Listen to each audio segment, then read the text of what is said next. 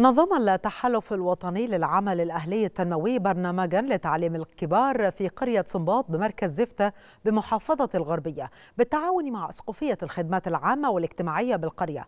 بلغ عدد المستفيدات من البرنامج الهادف لمحو الأمية 20 مستفيدة حيث يشهد البرنامج توقيع بروتوكول تعاون لإجراء اختبارات للمستفيدات بعد انتهاء فترة الدورة من أجل منحهن شهادة محو الأمية.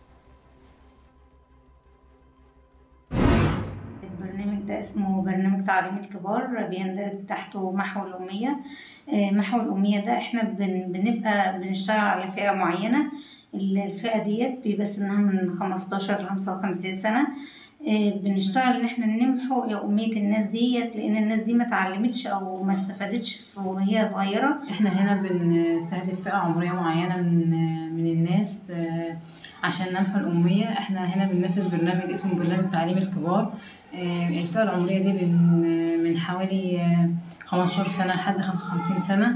آه، آه، بنحاول نوفر لهم كل سبل التعليم ال- السهلة إن يعني نوصل لهم إن هم يعرفوا يقروا ويكتبوا يعرفوا يمارسوا حياتهم يمار- يعني يواصلوا التعليم مع أولادهم. إحنا دلوقتي بادئين من شهر تلاتة آه، قدامنا لحد شهر آه، عشرة بيبقى فيه استكتاب وبعد كده امتحان هيبقى في شهر حداشر آه، بعد كده بيحصل بقى على الشهادة بعد الامتحان. ما كنتش ما اعرف اقرا وأكتب بس كل كنت كل ما أجي يعني يخلوني أكتب اسمي. آه، يعني حد يعني اكتب اسمي لحد ما عرفت اكتب اسمي واسم ابويا و- وجدي. وكنت والحمد لله. سمعت عن أسقفية الخدمات التعليم المجاني نحو الأمية حبيت إن أنا أجي أتعلم عشان أنا فاتحة مشروع وحبيت إن أنا أقدر أحسب وأقدر أتعلم.